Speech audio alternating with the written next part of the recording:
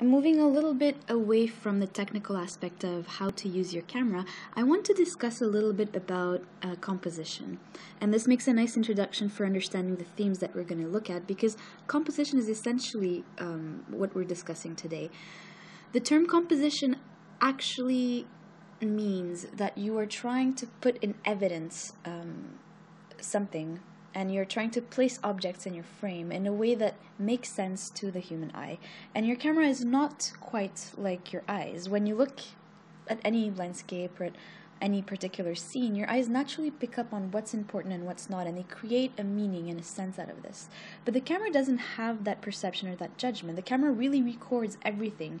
And so sometimes you get these very bad pictures where there's so much detail and it's very crowded or there's absolutely no depth in the picture and, and it's very confusing to know what to look at. So what we want to try to do when we take the picture is think of what we want to convey and really put that find the best technical way and the best way of framing it, uh, the subject, so that it really comes out of the picture. One of the rules that are the most fundamental ones in photography is the rule of third.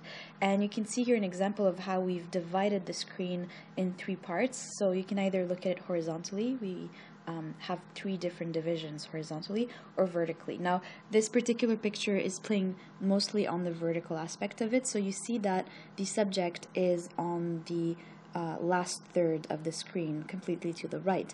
And one interesting thing is you see how he's looking towards something and he has his arm outstretched. Um, one basic principle in photography is don't just cut uh, the subject short. So you see that there's a lot of space towards where he's looking at and towards uh, the place where he's gesturing at, and that really gives you a feel of you know you have space to breathe and you it, it's it's very aesthetical, but it's also um, I guess in tune with with what you're trying to show here.